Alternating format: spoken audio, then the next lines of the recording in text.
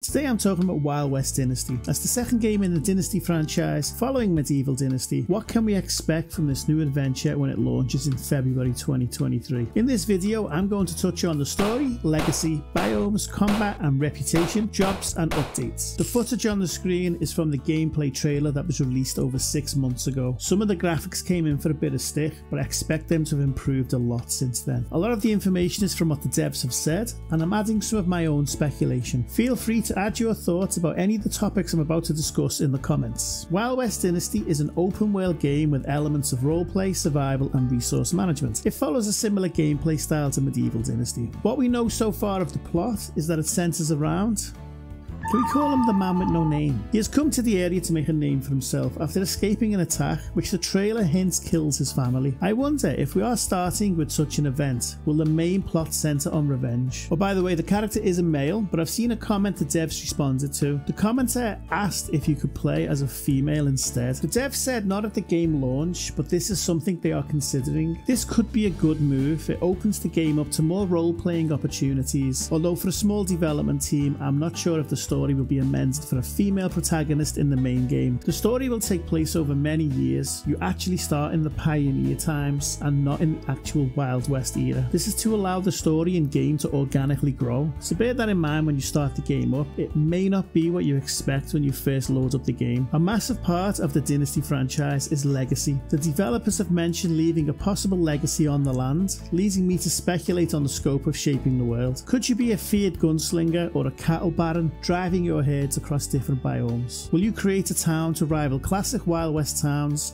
like Dodge City, Tombstone and Deadwood. The trailers show a much improved landscape from Medieval Dynasty. Although that game looked good, it was a valley with similar landscapes. On Wild West Dynasty we can see deserts, forests and snowy mountains. However, there will only be one biome available at launch, with more biomes to be added in future content updates. So if you have plans to build a Jeremiah Johnson style log cabin in the snow, you may have to wait. The West needs to be wild, and the game promises to deliver on that front with guns and NPC bandits bandits. I hope we get classic western style bandits, castle rustlers, bank robbers, marauding bandit gangs. There'll be a reputation system in place, both globally and on an individual level. Your actions in the world and in your dealings with the common folk will all have a bearing on your reputation. Despite the game's setting and the inclusion of weapons and bandits, the devs have stressed that violence is just a small part of the game. However, we all know how gamers are. Everyone is going to go on a murder spree as soon as they get their guns and no I will. There will be jobs available in the world and it's speculated that these may be missions or quests. For example, there will be bounty hunter jobs. I guess the jobs will also have a part to play in your reputation. If you played Medieval Dynasty, completing the quests unlock Dynasty reputation, allowing you to progress with technology. I hope it's more in-depth in this game and it doesn't rely on simple fetch quests. So what is the roadmap?